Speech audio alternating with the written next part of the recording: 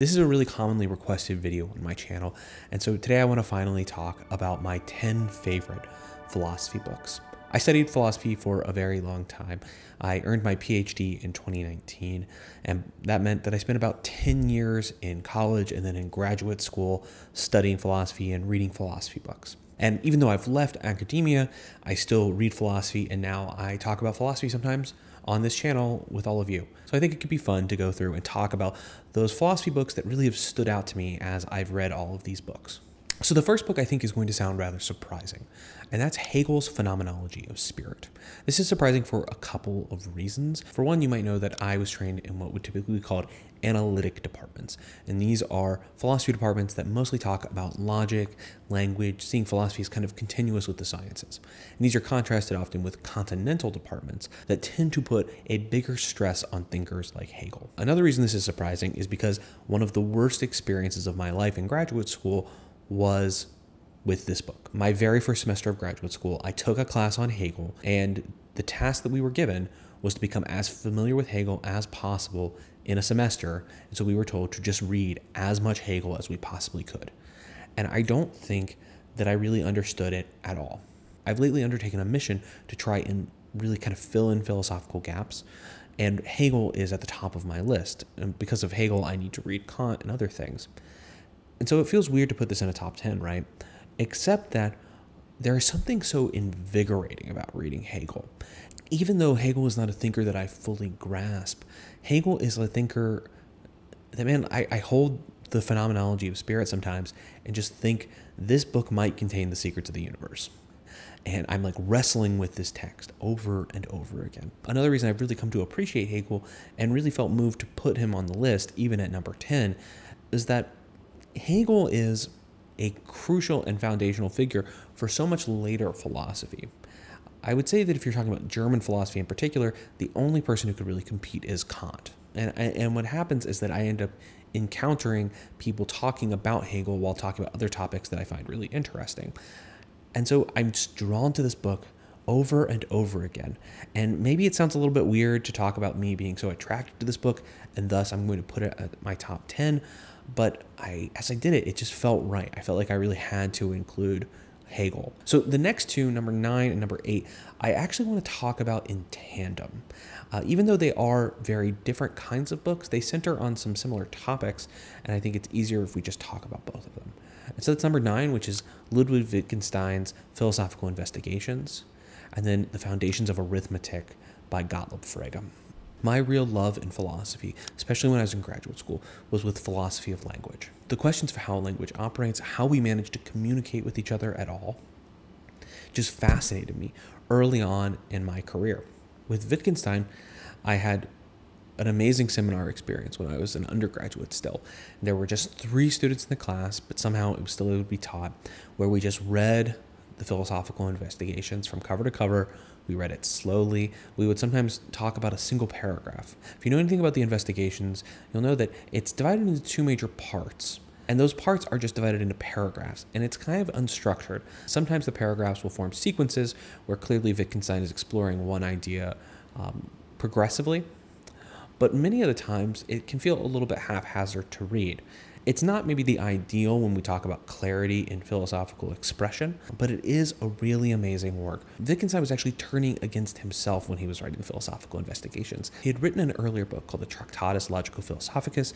Oftentimes we just call it the Tractatus. That book, Wittgenstein develops what's called a picture theory of language. It's highly regimented and it's highly logical, even though still sometimes when you read the Tractatus, it almost feels like reading a mystical mathematics text or something. And Wittgenstein became progressively disillusioned with his picture of language. And so he wanted to pay more attention to the use of language. In the investigations, Wittgenstein is sort of famously putting forward uh, a use theory of meaning, which is a very intuitive idea, but it's actually hard to make that precise in a way that's like really compelling. And one of the ways that he presents his ideas, though, are not through clear arguments where you have a premise and another premise and then a conclusion, and we just sort of build on this, but rather through a series of like interesting examples. We have this whole thing about private language, for instance, or the beetle in the box example, or even just the very beginning of the philosophical investigations. This book hooked me on philosophy of language, really, And that actually became the subject of my dissertation. I wrote my dissertation on theories of truth, but it was from a heavily linguistic point of view. And I ended up doing a lot of interdisciplinary work in linguistics when I was in graduate school. And I wouldn't have done that if it weren't for Wittgenstein, or for that matter, if it weren't for Frege and the foundations of arithmetic. It sounds a little bit strange to think that a book on arithmetic, so on mathematics and exploring the concept of number, would be so important to a philosopher of language.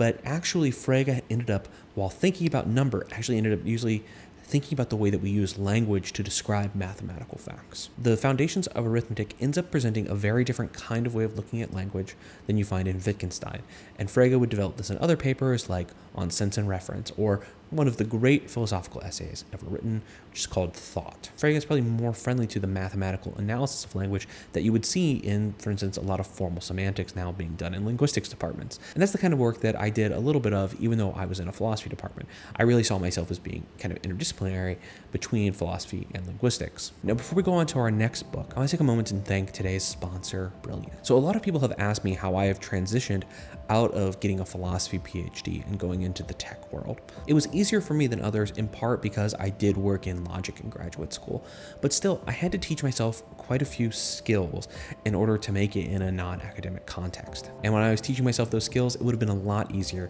if I had had a tool like Brilliant. Using Brilliant in just 15 minutes a day, you can learn about math, data science, and computer science. They make it simple, easy, and fun. Well, let's say that you're interested in data analysis. Using Brilliant, you can follow a structured lesson plan that's going to introduce you to the fundamentals like probability get you all the way to talking about neural networks. The first 200 people who use my link get a 20% discount on a Brilliant subscription.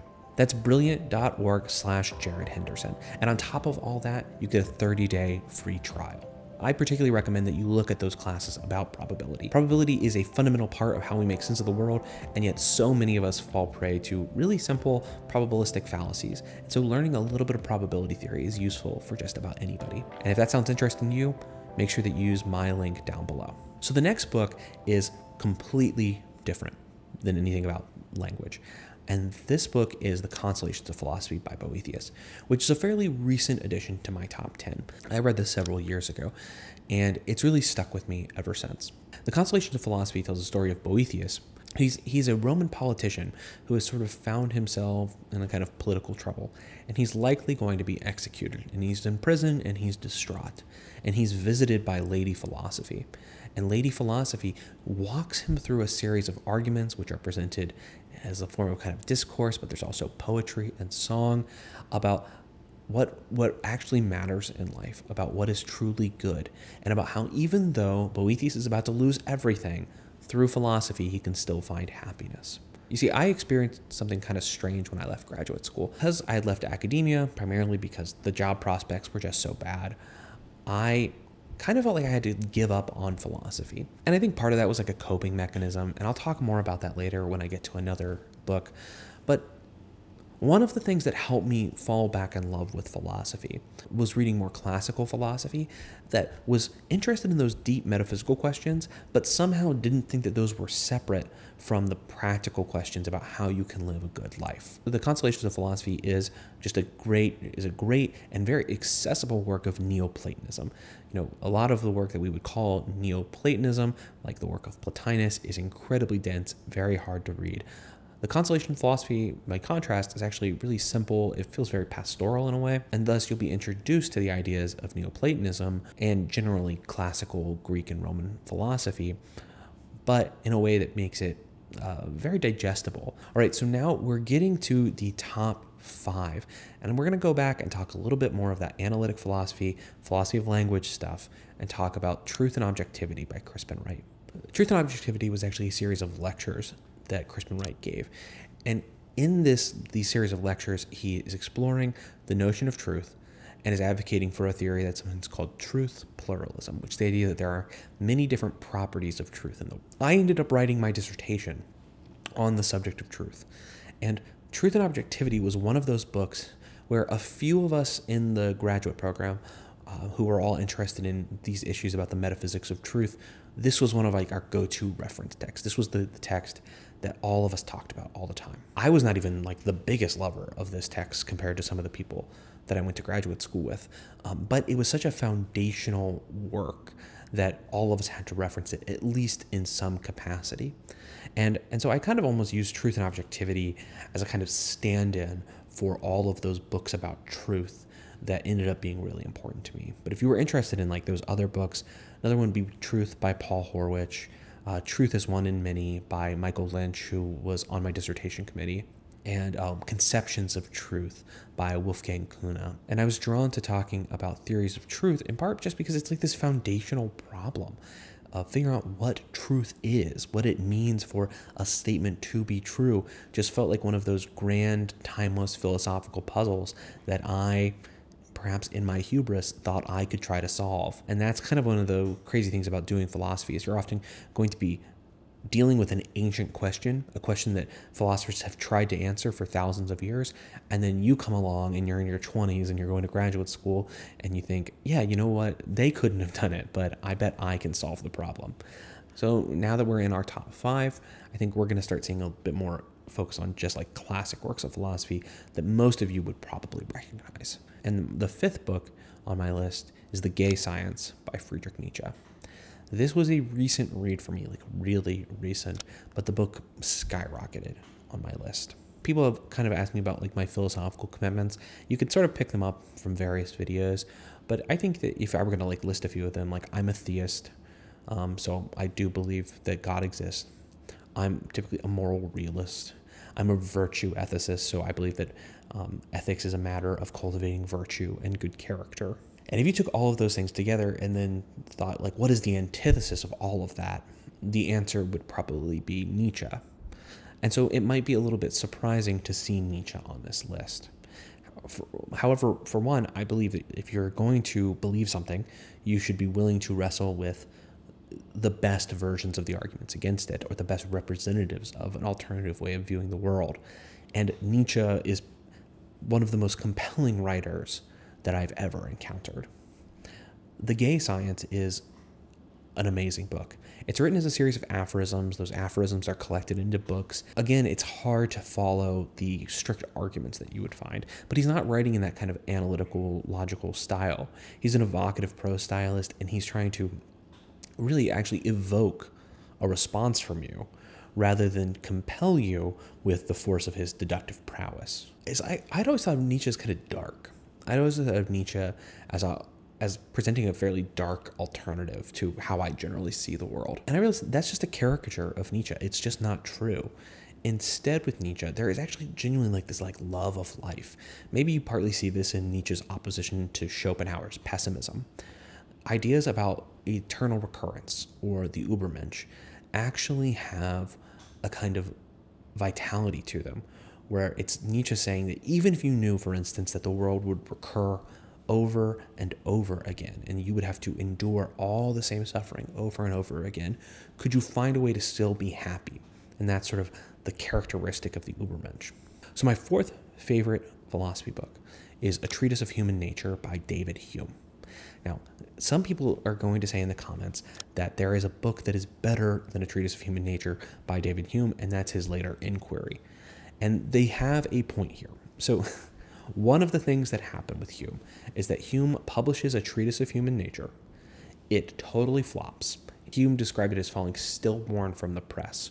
As a matter of publication, it was a total failure. And Hume went about actually refining his arguments, changing his presentation, and later publishes a very similar book called An Inquiry Concerning Human Understanding. Because of this fact, a lot of people think that you only need to read the inquiry, and for some people that may end up being adequate. However, a treatise of human nature really stands out to me. Um, one, biographically. I took a seminar on this class, and I found that even as I have gone in my own directions philosophically, some of those most formative books actually involved great teaching experiences uh, and uh, being in a seminar on a treatise of human nature with a terrific Hume scholar named Don Baxter um, was one of those really formative experiences for me.